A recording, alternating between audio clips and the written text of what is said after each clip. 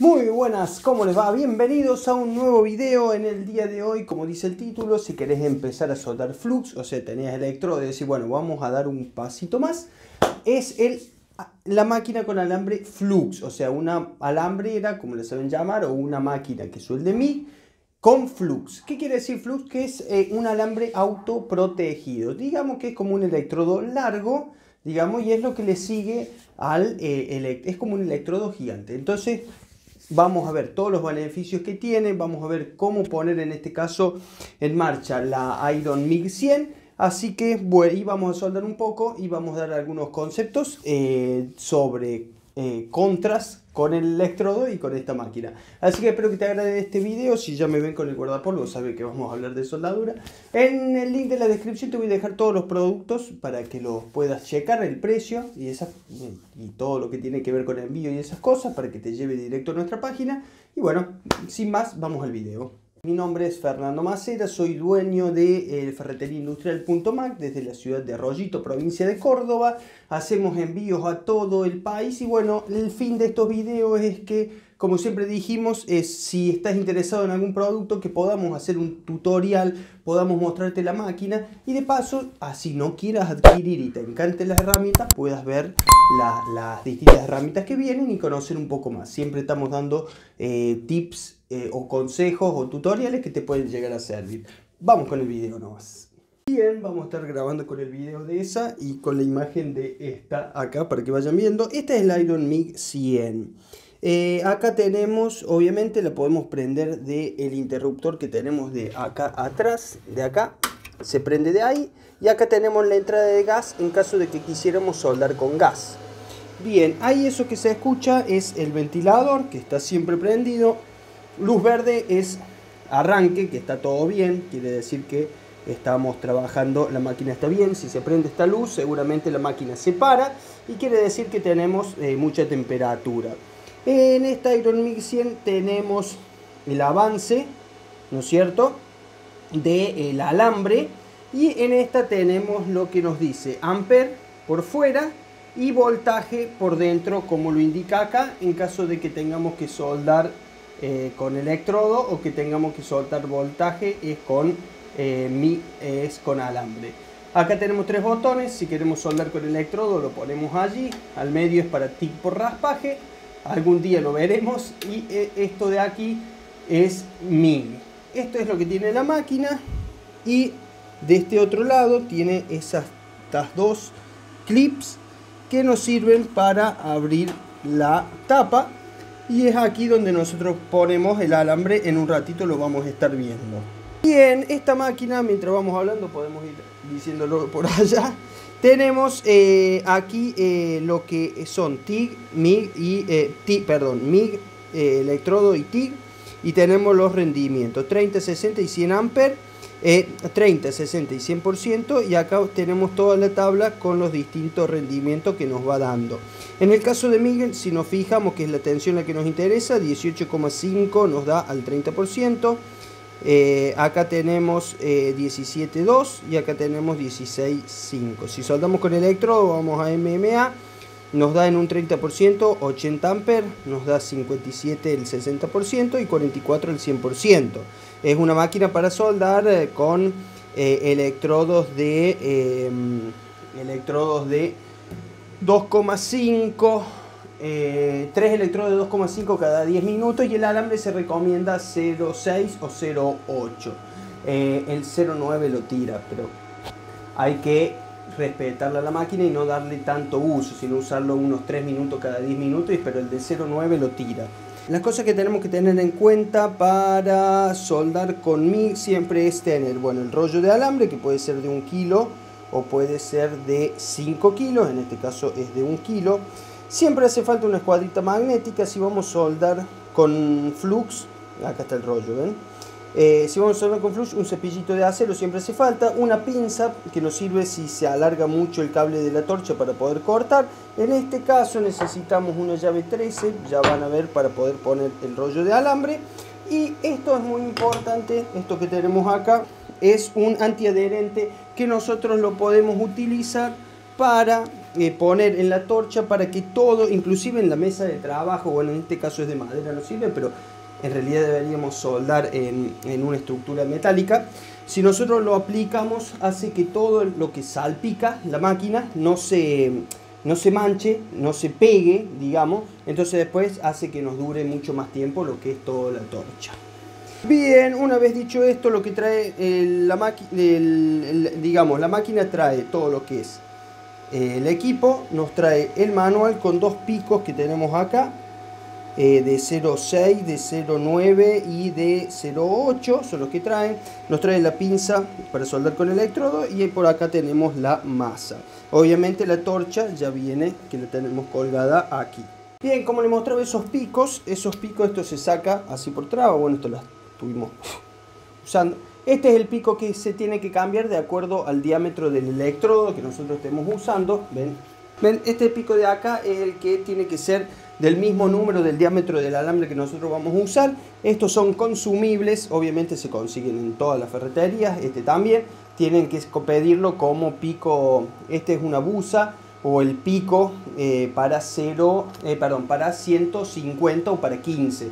Se suelen venir de 15 o 150, de, de 25 o 250 y de, 300, de 350 o 35 son los distintos de acuerdo al diámetro, pero de, de, acuerdo a la máquina, de la potencia de la máquina que vayamos a tener, pero para estas que son todas monofásicas por lo general son de 150 o de 15, que son los picos siempre más chicos. Vamos a ver cómo cambiar el alambre.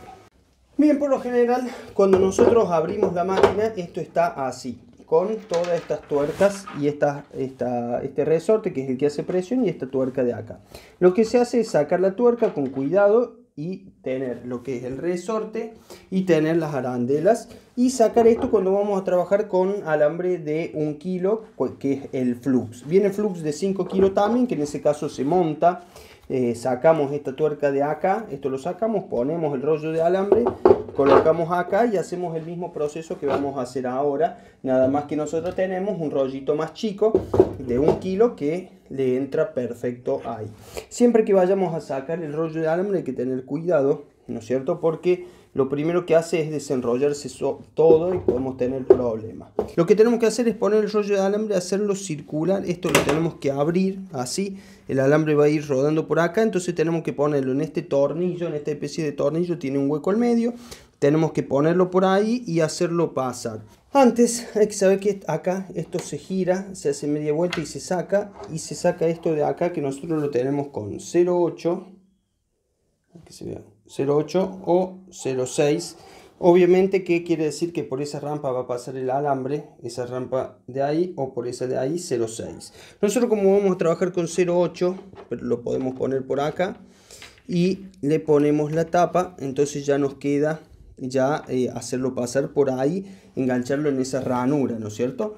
Lo que vamos a hacer va a ser poner el alambre siempre de esta posición en la posición en la que se pueda hay que tratar que esté lo más derecho posible. Por eso nosotros con la pinza vamos a cortar esa parte que doblamos y lo vamos a colocar por aquí. Lo vamos a colocar por aquí pero antes vamos a poner las tuercas para que nos ejerzan un tipo de presión obviamente y no nos pase esto de acá que se tiende a salir todo el alambre. Entonces apretamos ahí y ponemos en este caso el resorte, la arandela, el resorte, otra arandela y la tuerca. Y con la llave 13 después lo vamos a ajustar hasta que le dé cierto grado de resistencia. Ajustamos hasta que nos dé cierto grado de resistencia. Ya vemos que el alambre no tiende a salirse. Entonces lo que vamos a hacer es hacerlo pasar por dentro. Y y ahora lo tenemos que hacer pasar por este agujero de acá siempre con la máquina apagada lo hacemos pasar hasta que le bajamos acá le subimos esto, esto que no esté muy apretado prendemos la máquina ¿no es cierto? prendemos la máquina y ahora apretamos el gatillo acá y nos va a ir poniendo el alambre, ¿no es cierto? y lo va a hacer ir girando hasta que lo saquemos por acá Ven, como ven, ahí ya salió. Lo que podemos hacer es agarrar con la pinza, cortarlo lo más cerca posible, que nos quede ahí para que después ese alambre no quede pegado en el material. Lo que hacemos es cerrar la tapa y siempre que vayamos a soldar con flux, acá tenemos, ven siempre que eh, nosotros como vemos acá, vamos a sacar esto, vamos a sacar esto de acá, tenemos la masa y tenemos el cable, este cable que viene que es el de la torcha que está ahí. Entonces, ¿qué hacemos? Para soldar, la torcha siempre debe ir conectado en el eh, negativo y la masa debe ir en el positivo. Hacemos, usamos polaridad directa. Entonces ponemos este aquí, hacia ahí, y ahí tenemos la masa con el cable por aquí abajo. Ponemos aquí. Giramos media vuelta y ya lo tenemos listo, configurado. Nosotros lo que, eh, la configuración que mejor funcionó para mí fue 5 y eh, para alambre de 0.8 casi una 80. Esto me dio muy, buena, muy buen resultado, pero ustedes lo que deberían hacer es probar, obviamente, probar y em, probar en cuál, en cuál de las dos, en qué posición se siente mucho más seguro. Siempre tienen avance, mientras más avance más rápido va a salir el alambre y esto es voltaje que mientras más voltaje tenga más eh, potencia tenemos más material se va a derretir en un mismo lugar así que siempre ustedes prueben con más avance menos avance obviamente los más experimentados usan avance mucho más rápido y los que tienen menos experimentados los menos experimentados usan velocidades más chicas con potencias medias digamos yo les ¿qué les sugiero que ustedes lo pongan en 3 y en 40 y ver cómo les va con el alambre 08 y después van incrementando, subiendo de acuerdo si le falta material o no. Ustedes se van a ir dando cuenta si han indagado algo, obviamente. Eh, así que eso se lo dejo a ustedes. vamos a hacer una prueba y vamos a ver cómo suelda.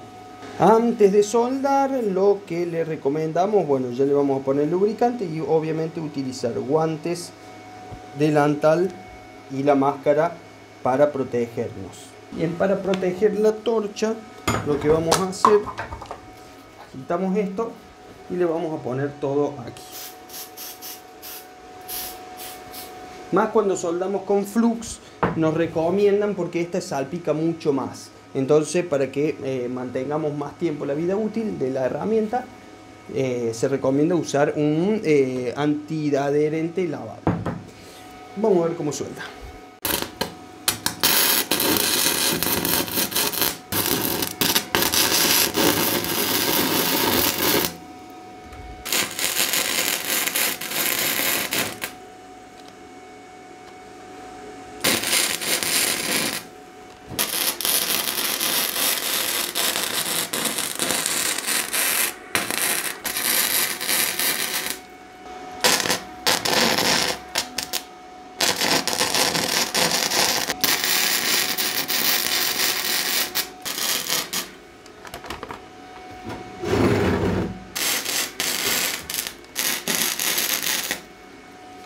Siempre estas costuras no son las más limpias. Entonces, eh, lo que tiene el electrodo y el flux es que hay que golpearlo un poquito y sacarle un poco de escoria, obviamente. O esto también se mejora mucho con gas, ¿no es cierto? Todo lo que es escoria con gas no, no, no lo tiene. Entonces, pero bueno, pasándole un poquito, podemos ver, acuérdense que yo no soy el mejor soldador, pero ven ahí medio feo, eso es lo que hay que evitar, esos puntitos de ahí. Pero bueno, a comparación, bueno, ahí me faltó un poco también. A comparación de lo que es a electrodo, lo noto mucho más sencillo, ¿no es cierto? Pero las costuras son bastante... Es más fácil de hacer. Obviamente los soldadores profesionales me van a dar con un caño, como me han dado ya en el Instagram, pero bueno, ya como les dije en el otro video, hay que probar, probar, probar hasta hacerse el soldador bueno se hace, no nace. Bueno, bien, con un poco de, humo que quedó, ahí abrimos todas las ventanas. Eh, siempre tengan en cuenta que eh, ¿cuál, es el beneficio, bueno, es como un electrodo continuo, ¿no es cierto? el flux es como soldar con electrodo permanente continuo y apretando un gatillo, lo cual nos hace mucho más sencillo. El aporte es mucho más, e, es como que la soldadura se da de manera mucho más natural que si utilizáramos eh, electrodo. Eh, yo que no soy soldador experto, me pareció mucho más sencillo soldar así con esto con flux que con una máquina de electrodo. Obviamente una máquina de electrodo nos sirve cuando necesitamos altura, que son más compactas y para reparaciones y esas cosas anda muchísimo mejor. Pero esta máquina, al poder soldar con flux, podemos soldar al aire libre, por más que haya viento, porque no necesitamos que el gas, no necesitamos de gas que, que esté en un lugar, ¿no es cierto? Entonces para, para mantenimiento también sirve y eh, eh, aparte porque es mucho más liviana. Una máquina muy recomendable, recordemos que también tira electrodo y también se puede hacer tipo raspaje. Así que bueno, los aliento a que eh, sigan. Si les gustó el video, de un pulgar para arriba. Cualquier duda que tengan me pueden consultar abajo. Si no lo sé a lo que me pregunten, se los puedo conseguir. Y bueno, en el link, acuérdense que está el link de la, en la descripción, está el link de la página. Nos vemos en un próximo video. Espero que te haya agradado y nada más.